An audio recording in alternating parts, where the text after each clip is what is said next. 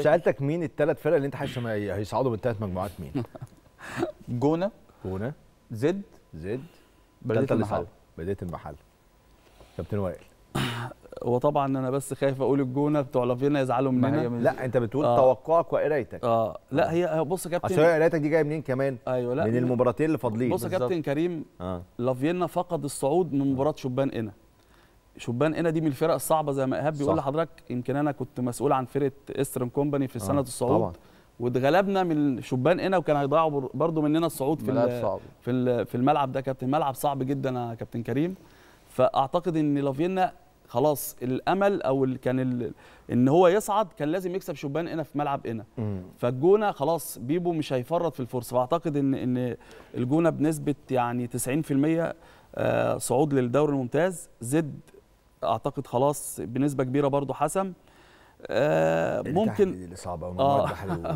يعني. آه لسه يعني لسه. بس البلدية بإيديها زي ما بقول لحضرتك يكسب الماتشين. آه. عنده المباراة الجاية لمصر بالسلوم وعنده ديكيرنس لو قدر يكسبهم أعتقد خلاص صعد للدوري الممتاز ويمكن أحمد عبد الرؤوف حقق إنجاز تاريخي بالنسبة له. لكن برضو أنت عايز برضو أدي اتنين مدربين حقهم يا كابتن كريم. عصام آه، كابتن حسام شعبان. كابتن عصام شعبان في شبين. يعني بص يا كابتن كريم ما فيش حد كان يتخيل آه شبين اسم كبير جدا لكن عصام شعبان بإمكانيات مادية قليلة جدا يا كابتن إن هو يتواجد ايهاب طبعا في المركز ده إنجاز كبير جدا. صح. وعندنا طبعا يعني مدير فني الإنجازات اللي هو يعني يعتبر. كابتن أيمن المزين ده يعني أنا مسميه الإخطبوط ال- الكرة المصرية. يعني أعتقد برضو عامل إنجاز مع أبو قير. لكن هي بصراحة الخمسة عملوا موسم ولا أروع. وطنطا يستحق برضه يعني. وعمرو كابتن عمرو أنور بصراحة عمل موسم برضو يعني جامد. جدا. آه طنطا طنطا. كمان واجه مشاكل مادية كبيرة جدا. وكابتن عمرو قدر يتعامل جوه وبره كويس. صح. فدي تفرق. صح. يعني إصرار و...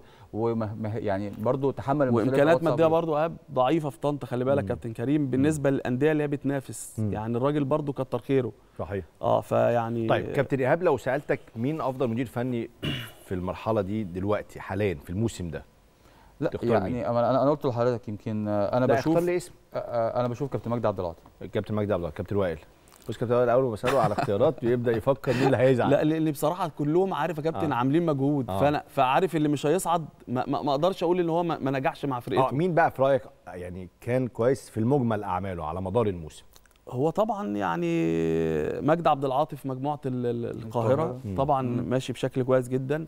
بيبو في في مجموعة الصعيد آه، ماشي كويس. يمكن ال- الموسم ده لو صعد مع الجونة هيبقى النجمة الثانية بالنسبة له. لأن صعد مع أسوان.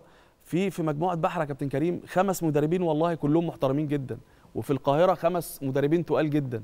لكن هي ممكن عارف كرة القدم حضرتك يعني اللي بيعمل إنجاز. لا إنجاز وفعلا في بعض التوفيق التوفيق مهم جدا في كرة القدم. 100% ففي بعض التوفيق مع فرق ومديرين فنيين وبيتخلى عن عن بعض الفرق طيب هسألك سؤال. لطيف تاني.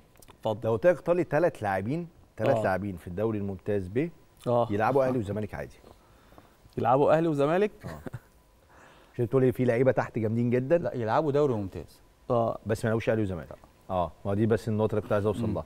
آه. يعني يقدروا يلعبوا ممتاز بس ما شفتش لعيب تقول ده يلعب أهلي لا في لعيبة. كتير جدا يلعبوا في في دوري ممتاز دوري ممتاز ألف. من ممتاز ب كتير جدا. آه. لعيبة كتير جدا آه. جدا يعني. بس ما فيش واحد مثلا أنت شفته وقلت لا ده جامد جدا يا جماعة ده مش ده المفروض يطلع بسرعة فوق ويلعب أندية قمة. لا. لا في لا. يلعب دوري ممتاز يلعب. آه. في لعيبة تقدر ت- تك- يعني تلعب وتأدي بشكل كويس جدا في الدوري الممتاز. آه. لا يقدروا. طيب